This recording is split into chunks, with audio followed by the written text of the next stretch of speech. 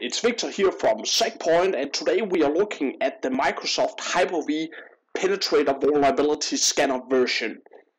Uh, when you log into the VIP Lounge you can actually download the latest version uh, for the Microsoft Hyper-V you're running.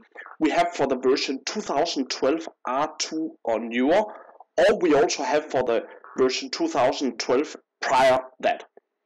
Uh, you can click here and you see it's uh, two files, it's two RAR files, and you will just unpack the first file and it will automatically unpack both files.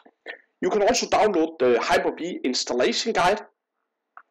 And now we go to the Hyper-V manager. We can see right here, I'm connected to my Hyper-V server and you can connect from your laptop or from a workstation so you can easily manage it. I have that penetrator June image right here when you watch this video there might be a newer version of the image or if you already have uh, the current image you can just upgrade to the latest version of the firmware and then you will have the latest.